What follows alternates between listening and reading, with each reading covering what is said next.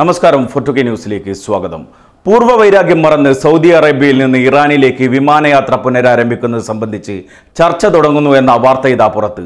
ഇരു രാജ്യങ്ങളും ശക്തമായ പോര് തുടങ്ങിയ വേളയിൽ നിലച്ചുപോയ സർവീസിനാണ് വീണ്ടും ജീവൻ വയ്ക്കുന്നത്. പശ്ചിമേഷ്യയിലെ നിലവിലെ സംഭവ വികാസങ്ങളുടെ പശ്ചാത്തലത്തിൽ ചൈന നടത്തിയ മധ്യസ്ഥ ശ്രമങ്ങളുടെ ഭാഗമായിട്ടാണ് പുതിയ ചർച്ചകൾ. ഇറാനെതിരെ അമേരിക്ക നടത്തുന്ന നീക്കങ്ങളാണ് ഇതോടെ പാളുന്നത്. വർഷങ്ങളോളം ശത്രുതയിൽ കഴിഞ്ഞിരുന്ന രാജ്യങ്ങളായിരുന്നു സൗദി അറേബ്യയും ഇറാനും. ഇസ്ലാമിലെ ഷിയ ചിന്താധാരയ്ക്ക് നേതൃത്വം നൽകി ഇറാൻ നിലയുറപ്പിച്ചപ്പോൾ സൗദി അറേബ്യ സുന്നി ധാരയാണ് മുറുകെ പിടിച്ചത്. ഇരുവർക്കുമിടയിലെ പ്രശ്നങ്ങളുടെ അടിസ്ഥാനം ഈ ചേരിതിരിവാണ്. പിന്നാലെ രാഷ്ട്രീയ ലക്ഷ്യങ്ങളും അകൽച്ചയ്ക്ക് കാരണമായി. ഇറാനെ ഒറ്റപ്പെടുത്താൻ അമേരിക്ക കൂടി ഇടപെട്ടതോടെ ഗൾഫ് രാജ്യങ്ങളും അമേരിക്കയും കൈകോർത്തു. എന്നാൽ സമീപകാലത്ത് ചൈന നടത്തിയ നീക്കം പോരിന് അയവ് വരുത്തുകയായിരുന്നു. ചൈനയിൽ നടന്ന ചർച്ചയുടെ ഫലമായി സൗദി അറേബ്യയും ഇറാനും ഐക്യകരാറിൽ ഒപ്പുവെച്ചിരുന്നു. ഘട്ടങ്ങളായി ഇരുവരും നയതന്ത്ര പ്രതിനിധികളെ നിയോഗിക്കുകയും ചെയ്തു. തുടർ ചർച്ചകളുടെ ഭാഗമായാണ് വിമാന സർവീസ് പുനരാരംഭിക്കുന്നത്. ടെഹ്റാനിൽ നിന്നും റിയാദിലേക്കും തിരിച്ചും വിമാന സർവീസ് ആരംഭിക്കുന്നതുമായി ബന്ധപ്പെട്ട ചർച്ചകൾ അടുത്തയാഴ്ച ആരംഭിക്കുമെന്ന് ഇറാൻ ഉദ്യോഗസ്ഥരെ ഉദ്ധരിച്ച് ഇൽന വാർത്താ ഏജൻസി റിപ്പോർട്ട് ചെയ്തു.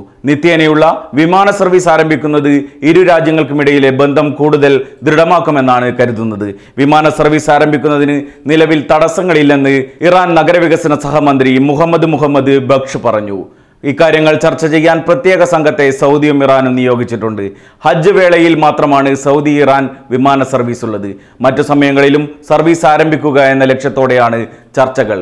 സൗദിയും ഇറാനും തമ്മിൽ പോര് ശക്തമായിരുന്നു എങ്കിലും രണ്ടായിരത്തി പതിനാറിലാണ് നയതന്ത്ര ബന്ധം വിച്ഛേദിക്കപ്പെട്ടത്. ഷിയ പണ്ഡിതനായ നിമ്രിനെ സൗദി അറേബ്യ തൂക്കിലേറ്റിയതായിരുന്നു കാരണം. ഇതിനെതിരെ ടെഹ്റാനിൽ പ്രതിഷേധം സംഘടിപ്പിച്ചവർ സൗദി എംബസി ആക്രമിക്കുകയായിരുന്നു. തുടർന്ന് എംബസി പൂട്ടിയ സൗദി എല്ലാ ഉദ്യോഗസ്ഥരെയും തിരിച്ചു വിളിച്ചു. ഇറാന്റെ ഉദ്യോഗസ്ഥരെ സൗദിയിൽ നിന്നും പുറത്താക്കുകയും ചെയ്തു. തൊട്ടു പിന്നാലെ സൗദി ഇറാൻ വിമാന സർവീസ് നിലക്കുകയും ചെയ്തു.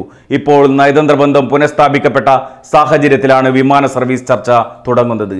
സൗദിയിലേക്ക് സർവീസ് നടത്താൻ യോഗ്യത നേടിയ വിമാന കമ്പനികളുടെ പട്ടിക ഇറാൻ തയ്യാറാക്കിയിട്ടുണ്ടെന്നാണ് ഇറാൻ മന്ത്രി പറഞ്ഞത്. എന്നാൽ അദ്ദേഹം കമ്പനികളുടെ പേര് ഇതുവരെ വെളിപ്പെടുത്തിയിട്ടില്ല. ഇസ്രായേലും അമേരിക്കയും പാലസ്തീനിൽ നടത്തുന്ന ആക്രമണവും ഇറാൻ സൗദി ബന്ധം പെട്ടെന്ന് ദൃഢമാകുന്നതിന് പ്രധാന കാരണമായി മാറിയിട്ടുണ്ട്. മേഖലയിലെ രാഷ്ട്രീയ സമവാക്യങ്ങൾ മാറ്റിമറിക്കുന്നതാണ് ഈ തീരുമാനം.